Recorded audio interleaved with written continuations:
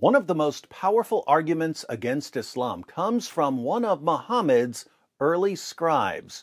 Allah would give a revelation to his messenger Gabriel, then Gabriel would pass the revelation on to Muhammad, then Muhammad would recite the revelation to his followers, and they would try to memorize it. But memorizing it was difficult, so a scribe would write down the revelation a man named Abdullah ibn Sa'd ibn Abi Sarh converted to Islam and became one of Muhammad's scribes. But he eventually left Islam and became an apostate. Why did a man who learned the Quran from Muhammad himself decide to become an ex Muslim? It wasn't because he wanted to drink beer, or because he wanted to eat pork, or because he was being paid by the Jews. It was because he had indisputable proof that Muhammad was a false prophet.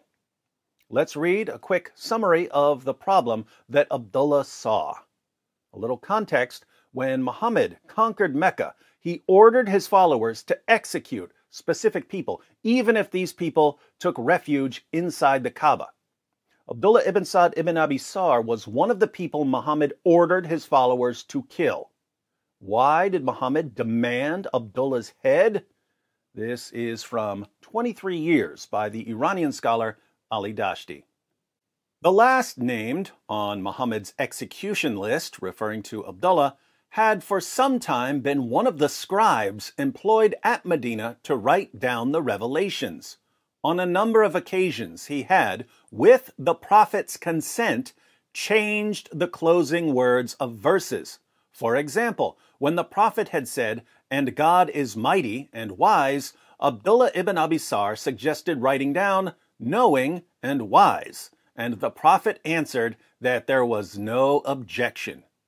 Having observed a succession of changes of this type, Abdullah renounced Islam on the ground that the revelations, if from God, could not be changed at the prompting of a scribe such as himself.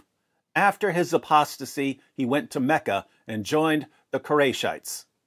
So Muhammad would receive revelations and recite these revelations to Abdullah, his scribe, and Abdullah would say, in effect, why don't we write it like this instead?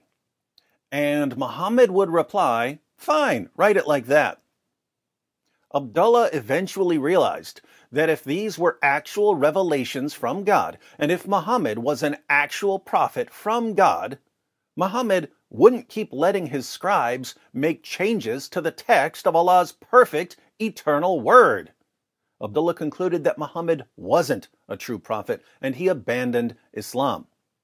This was a huge embarrassment to the early Muslim community, so much so that Allah even complained about Abdullah in his eternal speech, the Quran. Surah 6, verse 93. The commentary we're going to read in a moment uses the Pickthall translation, so we'll read the Pickthall translation of this verse.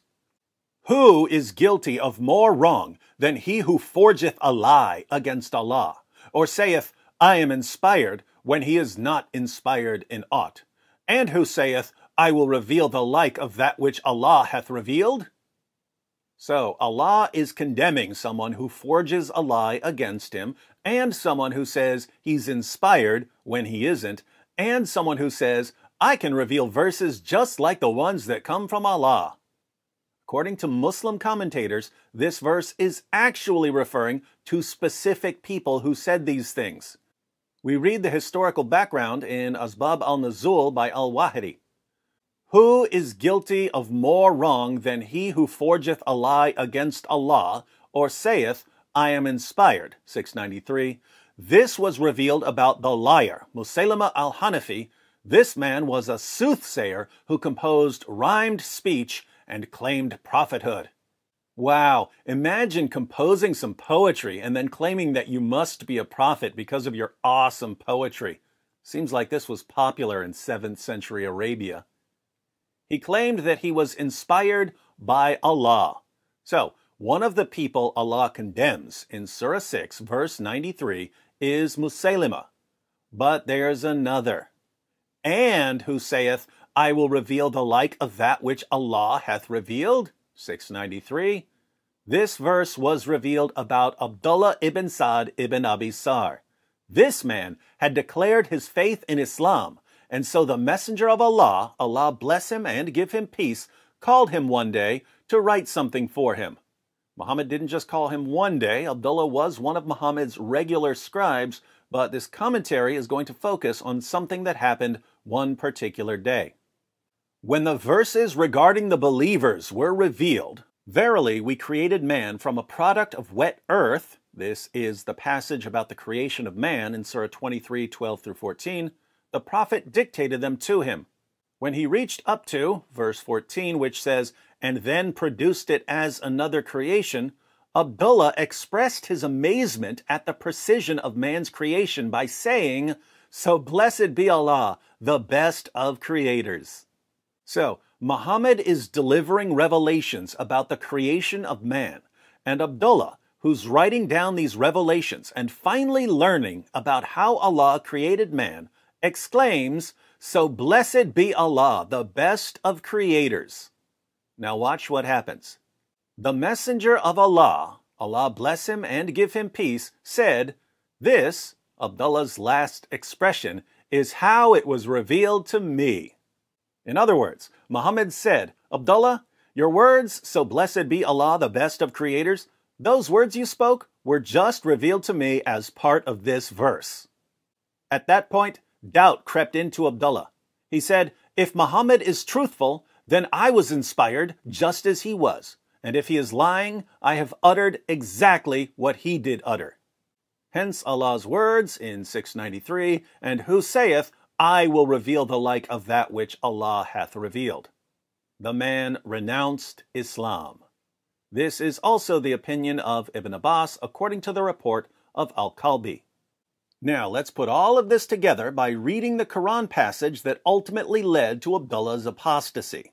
In Surah 23, verses 12 through 14, Allah declares, Verily we created man from a product of wet earth then placed him as a drop of seed in a safe lodging.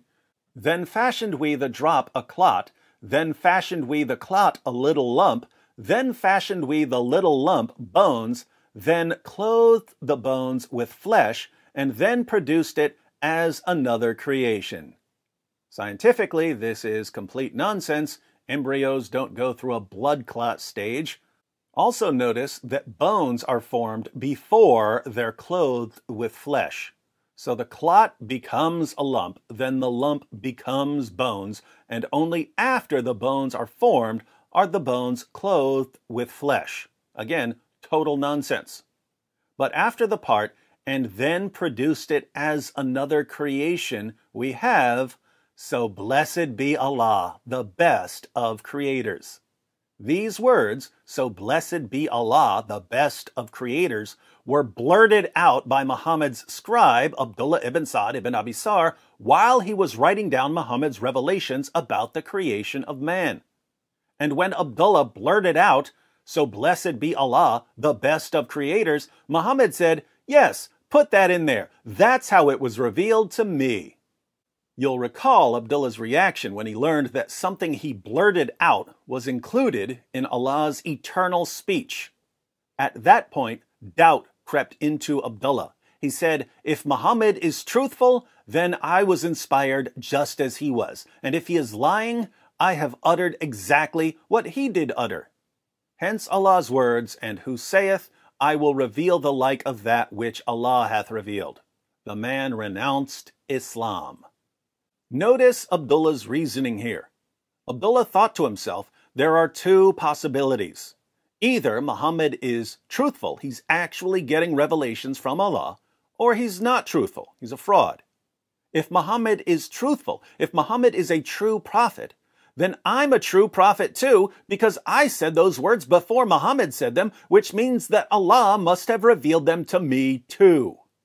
But if Muhammad is not truthful, if he's just a deceiver claiming to be a prophet because of his poetry, then I can do that too, because Muhammad himself is taking my words and passing them off as revelations from Allah.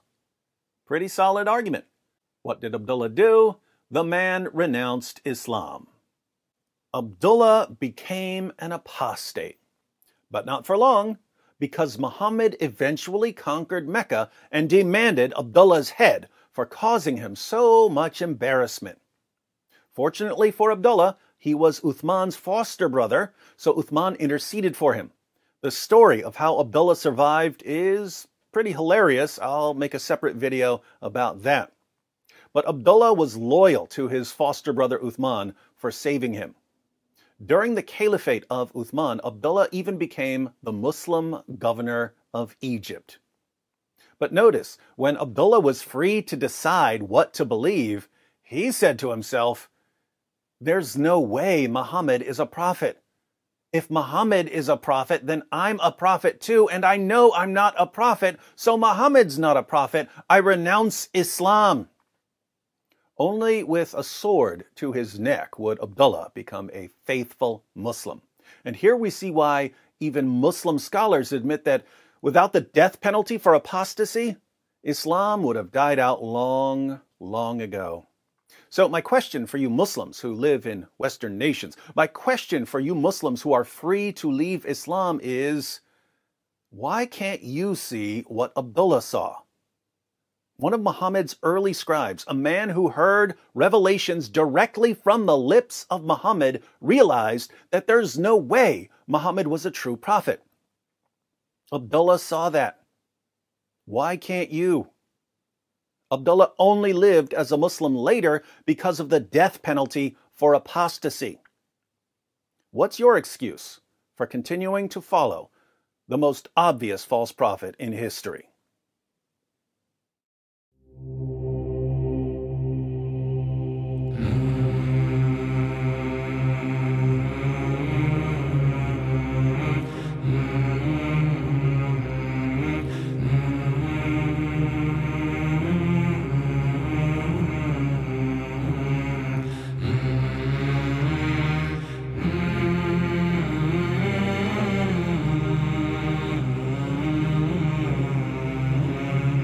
南。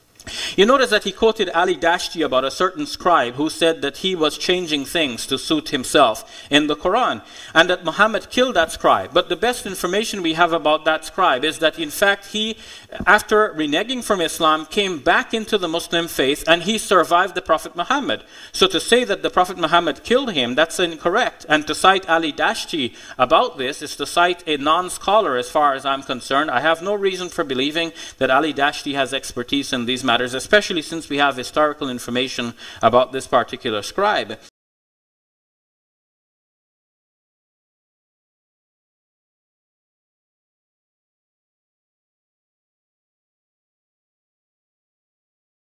بسم الله الرحمن الرحيم